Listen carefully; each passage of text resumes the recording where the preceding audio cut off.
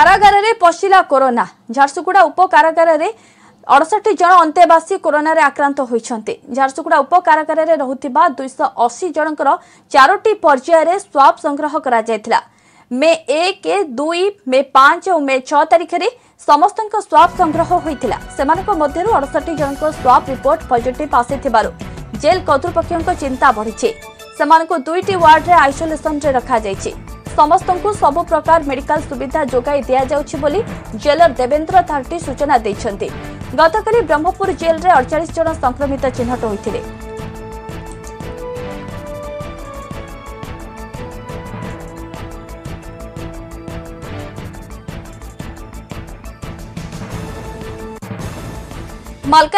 ମାଲକାନଗିରିରେ ଡିଜିପି ମାଲକାନଗିରି ମୋଟୁ ସୀମାରେ police DG Abhay MV ଅଠାଅଶୀରେ ନୂଆ ପୋଲିସ ଫାଣ୍ଡିର ଉଦ୍ଘାଟନ କରିବା ସହିତ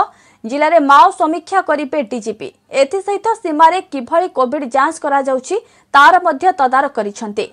ପଡ଼ୋଶୀ ଛତିଶଗଡ଼ ଆନ୍ଧ୍ରପ୍ରଦେଶ ଓ ତେଲେଙ୍ଗାନାରୁ ପ୍ରବାସୀମାନେ ଏବେ ଓଡ଼ିଶା ମୁହାଁ ହୋଇଛନ୍ତି ବାହାରୁ ଫେରୁଥିବା ପ୍ରବାସୀଙ୍କ ପାଇଁ କିଭଳି ବ୍ୟବସ୍ଥା ହୋଇଛି କେମିତି ସେମାନଙ୍କର କୋଭିଡ ଚେକ୍ କରାଯାଉଛି ସେ ନେଇ ବରିଷ୍ଠ ପଦାଧିକାରୀଙ୍କ ସହ ଆଲୋଚନା କରିଛନ୍ତି ପୋଲିସ ଡିଜି ଅଭୟ ପ୍ରବାସୀ ଶ୍ରମିକଙ୍କ ସହିତ କଥା ହେବା ସହିତ ସେମାନଙ୍କର ସମସ୍ୟା ପଚାରି ବୁଝିଥିଲେ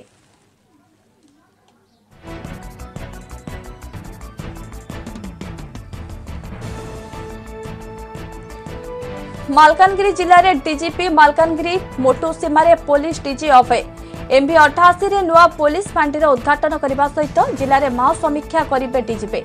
ଏଥିସହିତ ସୀମାରେ କିଭଳି କୋଭିଡ୍ ଯାଞ୍ଚ କରାଯାଉଛି ତାର ମଧ୍ୟ ତଦାରଖ କରିଛନ୍ତି ପଡ଼ୋଶୀ ଛତିଶଗଡ଼ ଆନ୍ଧ୍ରପ୍ରଦେଶ ଓ ତେଲେଙ୍ଗାନାରୁ ପ୍ରବାସୀମାନେ ଏବେ ଓଡ଼ିଶା ମୁହାଁ ହୋଇଛନ୍ତି ବାହାରୁ ଫେରୁଥିବା ପ୍ରବାସୀଙ୍କ ପାଇଁ କିଭଳି ବ୍ୟବସ୍ଥା ହୋଇଛି କେମିତି ସେମାନଙ୍କର କୋଭିଡ୍ ଚେକ୍ କରାଯାଉଛି ସେ ନେଇ ବରିଷ୍ଠ ପଦାଧିକାରୀଙ୍କ ସହ ଆଲୋଚନା କରିଛନ୍ତି ପୋଲିସ ଡିଜି ଅଭୟ ପ୍ରବାସୀ ଶ୍ରମିକଙ୍କ ସହିତ କଥା ହେବା ସହିତ ସେମାନଙ୍କର ସମସ୍ୟା ପଚାରି ବୁଝିଥିଲେ ପୋଲିସ ଡିଜି ଅଭୟ ଏମ୍ବି ଅଠାଅଶୀରେ ନୂଆ ପୋଲିସ ପାଣ୍ଠିର ଉଦ୍ଘାଟନ କରିବା ସହିତ ଜିଲ୍ଲାର ମାଓ ସମୀକ୍ଷା କରିବେ ଡିଜିପି ଏଥିସହିତ ସୀମାରେ କିଭଳି କୋଭିଡ୍ ଯାଞ୍ଚ କରାଯାଉଛି ତା'ର ମଧ୍ୟ ତଦାରଖ କରିଛନ୍ତି ପଡ଼ୋଶୀ ଛତିଶଗଡ଼ ଆନ୍ଧ୍ରପ୍ରଦେଶ ଓ ତେଲେଙ୍ଗାନାରୁ ପ୍ରବାସୀମାନେ ଏବେ ଓଡ଼ିଶା ମୁହାଁ ହୋଇଛନ୍ତି ବାହାରୁ ଫେରୁଥିବା ପ୍ରବାସୀଙ୍କ ପାଇଁ କିଭଳି ବ୍ୟବସ୍ଥା ହୋଇଛି କେମିତି ସେମାନଙ୍କର କୋଭିଡ୍ ଚେକ୍ କରାଯାଉଛି ସେ ନେଇ ବରିଷ୍ଠ ପଦାଧିକାରୀଙ୍କ ସହ ଆଲୋଚନା କରିଛନ୍ତି ପୋଲିସ ଡିଜି ଅଭୟ ପ୍ରବାସୀ ଶ୍ରମିକଙ୍କ ସହ କଥା ହେବା ସହିତ ସେମାନଙ୍କର ସମସ୍ୟା ପଚାରି ବୁଝିଥିଲେ ପୋଲିସ ଡିଜି ଅଭୟ ମାଲକାନଗିରି ମୋଟୁ ସୀମାରେ ପୋଲିସ ଡିଜି ଅଭୟ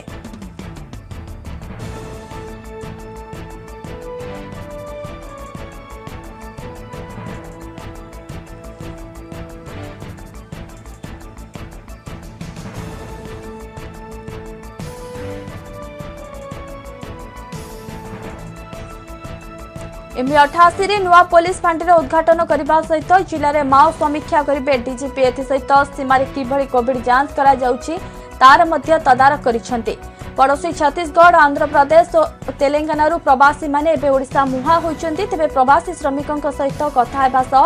ସେମାନଙ୍କ ସମସ୍ୟା ପଚାରି ବୁଝିଥିଲେ ପୋଲିସ ଡିଜି ଅଭୟ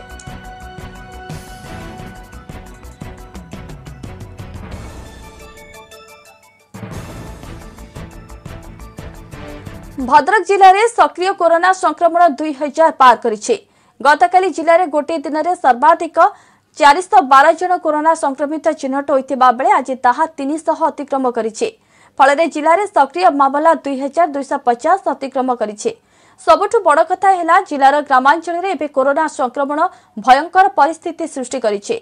ସଂକ୍ରମଣରେ ଅଶୀ ପ୍ରତିଶତ ଏବେ ଗାଁରେ ଦେଖାଯାଉଥିବା ଯୋଗୁଁ ଏହା ଗୋଷ୍ଠୀ ସଂକ୍ରମଣ ଆଡ଼କୁ ମୁହାଁଇଛି ପ୍ରାରମ୍ଭିକ ଅବସ୍ଥାରେ ଗ୍ରାମାଞ୍ଚଳକୁ କଟକଣା ମୁକ୍ତ ରଖାଯିବା ଯୋଗୁଁ ଏହି ଅବସ୍ଥା ସୃଷ୍ଟି ହୋଇଛି ଏବେ ସଂକ୍ରମଣ ଭୟଙ୍କର ହେବାରୁ ଗ୍ରାମାଞ୍ଚଳରେ କଟକଣାକୁ ଜୋରଦାର କରାଯାଇଛି ପୋଲିସ ଗାଁ ଗାଁ ବୁଲି ଦୋକାନ ବଜାର ବନ୍ଦ କରୁଥିବା ବେଳେ ଅମାନିଆଙ୍କୁ ସାବାଡ କରିବା ଆରମ୍ଭ କରିଛି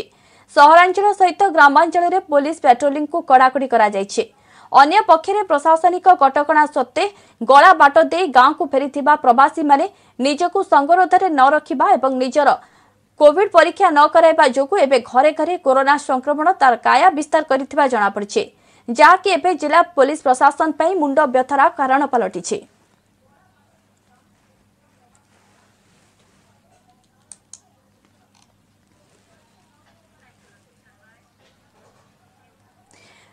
ପାଣିପାଗ ସମ୍ପର୍କିତ ଖବର ଉପରେ ନଜର ପକାଇବା ଆରବ ସାଗରରେ କାୟା ମିଲାଉଛି ବାତ୍ୟା ତାଉତେ ଧୀରେ ଧୀରେ ବଳ ସଂଗ୍ରହ କରୁଛି ବାତ୍ୟା ତାଉତେ ବର୍ତ୍ତମାନ ଲାକ୍ଷାଦ୍ୱୀପ ପାଖରେ ଓଏଲମାର୍କ ଲୋ ପ୍ରେସର ଉପରେ ଥିବା ତାଉତେ ବାତ୍ୟାର ରୂପ ନେଇଛି ଆଜି ସନ୍ଧ୍ୟା ପାଞ୍ଚଟା ତିରିଶ ସୁଦ୍ଧା ଭୟଙ୍କର ସାମୁଦ୍ରିକ ଝଡ଼ର ରୂପ ନେବ କାଲି ଦିନ ଏଗାରଟା ତିରିଶ ସୁଦ୍ଧା ଅତି ତୀବ୍ର ସାମୁଦ୍ରିକ ଝଡ଼ର ରୂପ ନେବାର ଆଶଙ୍କା ରହିଛି ଓ ମେ ଅଠର ସକାଳେ ଗୁଜରାଟ ଉପକୂଳ ନିକଟରେ ପହଞ୍ଚିବା ଆଶଙ୍କା କରାଯାଉଛି ସ୍ଥଳଭାଗ ଛୁଇଁବା ବେଳେ ପବନର ବେଗ ଶହେ ପଚସ୍ତରି କିଲୋମିଟର ରହିବା ଆଶଙ୍କା ରହିଛି ଗୁଜରାଟ ଓ ଡିୟୁ ଉପକୂଳରେ ହାଇ ଆଲର୍ଟ ଜାରି କରାଯାଇଛି ସମ୍ଭାବ୍ୟ ବାତ୍ୟାକୁ ଦେଖି ସମସ୍ତ ପ୍ରସ୍ତୁତି କରିଛନ୍ତି ଗୁଜରାଟ ସରକାର ସମସ୍ତ ମତ୍ସ୍ୟଜୀବୀମାନଙ୍କୁ ସମୁଦ୍ରରୁ ଫେରି ଆସିବାକୁ ଚେତାବନୀ ଦିଆଯାଇଛି ଏସବୁ ଅଞ୍ଚଳରେ ବିଭିନ୍ନ ସରକାରୀ ଅଧିକାରୀମାନଙ୍କୁ ମୁଖ୍ୟାଳୟ ନ ଛାଡ଼ିବାକୁ କୁହାଯାଇଛି ପାଣିପାଗ ବିଭାଗ କହିଛି ସତର ତାରିଖ ପୂର୍ବରୁ ହାଲକା ବର୍ଷା ଲାଗି ରହିବ କିନ୍ତୁ ସତରରୁ ପ୍ରବଳ ବର୍ଷା ହେବ ଏହା କୋଡ଼ିଏ ତାରିଖ ପର୍ଯ୍ୟନ୍ତ ଲାଗି ରହିବ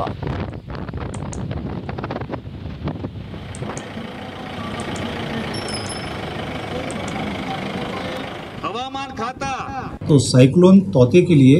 एनडीआरएफ की तरफ से पूरी तैयारी है हमारी तीन टीमें मुंबई में तैनात हैं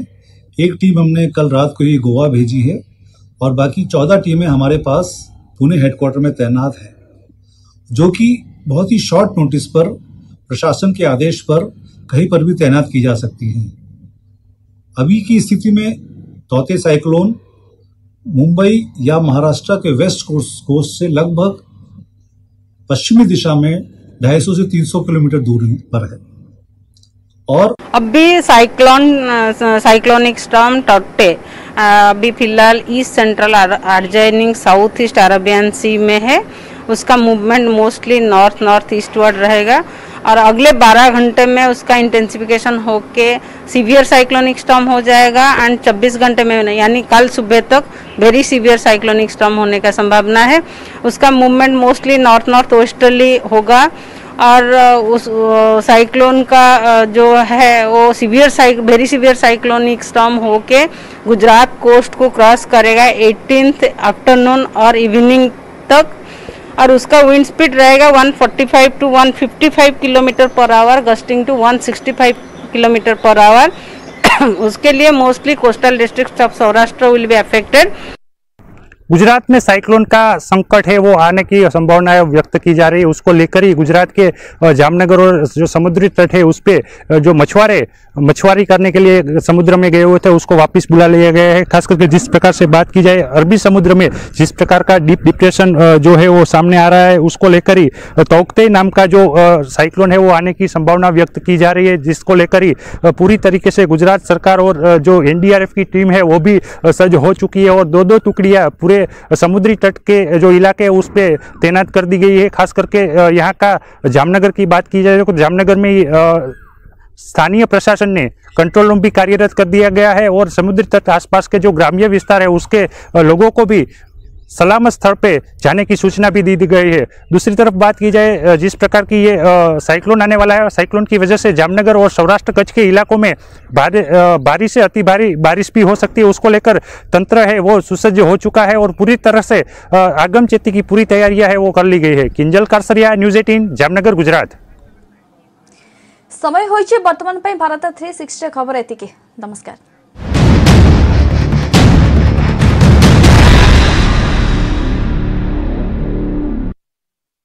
India's largest news network, News 18 Network.